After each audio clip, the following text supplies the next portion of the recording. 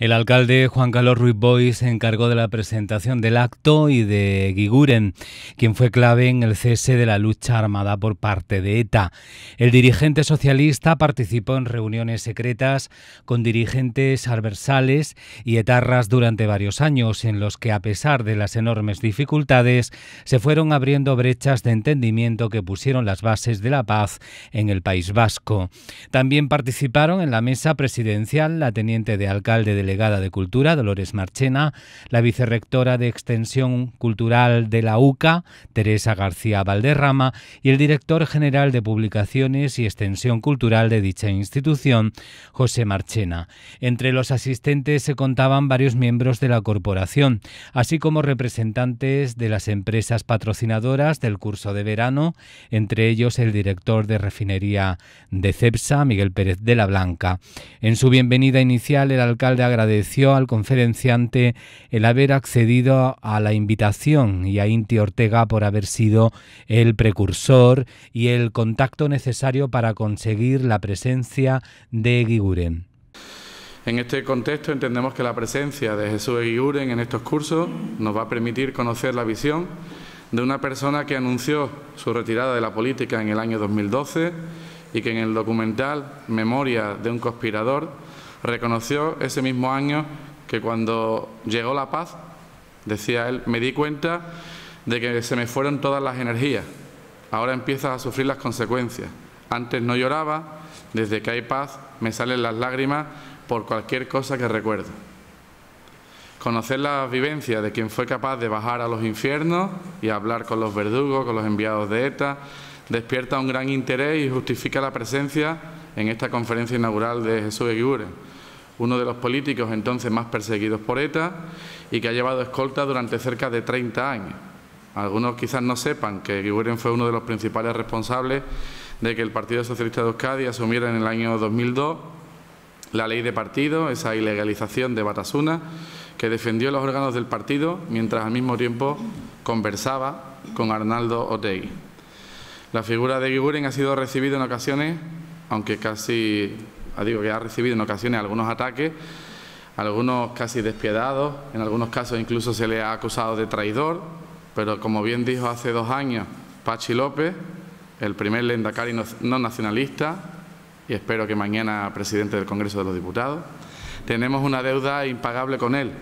porque Guiguren se vació hasta el fondo, dejándose el alma para conseguir la paz en Euskadi y en España. Por todo ello, yo nada más que puedo agregar que estoy enormemente satisfecho de poder contar con Jesús Eguiguren aquí y espero que luego en su intervención, en su conferencia, nos deleite a todos los, presentes. Todos los por su parte, Dolores Marchena se refirió a la presente edición del curso de verano, de la que dijo que mantiene su esencia, diversidad y pluralidad en la temática de la programación, pero también destaca por abordar los intereses que se ponen de manifiesto en la comarca. La edil agradeció a patrocinadores, colaboradores y a los alumnos y alumnas por su participación, así como al coordinador del curso de verano, César Aldana, y al equipo de la empresa multimedia imprescindibles, decía, los alumnos y alumnas de cada seminario que eligen San Roque como destino cultural y que nos van a estar acompañando hasta el próximo 28 de julio. Antes de concluir, sí quiero agradecer a las delegaciones del Ilustre Ayuntamiento de San Roque que se vuelcan con todas y cada una de las propuestas e iniciativas culturales y muy especialmente al coordinador de los cursos de verano, César Aldana, que nos acompaña, y por supuesto también a todo el equipo de multimedia y personalmente quiero encarnar este agradecimiento que lo haga extensible a todo el equipo en Dion y Castilla. Por supuesto, destacar también la colaboración de Inti Ortega, que ha sido fundamental para que Jesús Eguiguren nos acompañe y nos deleite en la tarde de hoy. Así que, para concluir, espero que disfruten de la cálida acogida de los sanroqueños y de los múltiples atractivos turísticos y culturales que ponemos a vuestra entera disposición y que disfruten de la muy noble y más leal ciudad de San Roque, donde reside la de Gibraltar.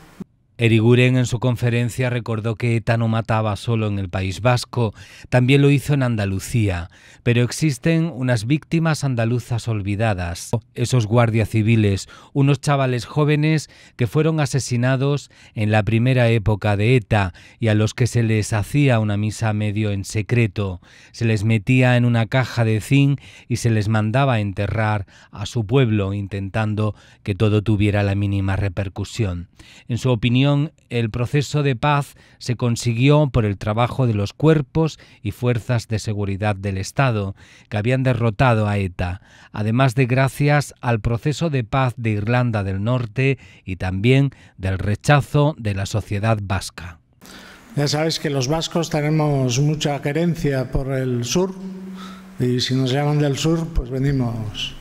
inmediatamente. Aparte de que el tema que voy a tratar yo creo que es un tema que todavía hay que hablar de él porque no se entendió bien lo que pasó y tampoco la situación actual. Pero antes que eso, aunque ya se ha hecho referencia, la casualidad ha hecho que sea hoy un 18 de julio, por tanto quiero recordar a todos aquellos que sufrieron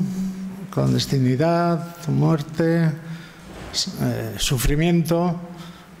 en la historia trágica de España después del levantamiento de Franco. Y quiero recordar también, quiero recordar también a un militante del Partido Popular que mataron hace 17 años justo, a Miguel Ángel Blanco que fue uno de los atentados más crueles y de más impacto, suponiendo que la crueldad se pueda medir en estas materias. ¿no? Por tanto, quiero recordar especialmente a Miguel Ángel Blanco y quería recordar también, porque a veces se nos olvida, que ETA no mataba solo en el País Vasco. ETA ha matado en Andalucía, hay víctimas recientes, pero hay otras víctimas andaluzas que yo creo que son más olvidadas, que son todos aquellos guardias civiles, chavales, jóvenes, que en la primera época de ETA murieron y muchos de ellos eran andaluces y que lo único que se hacía era, se les hacía una misa medio en secreto en el gobierno civil, se les metía en una caja de zinc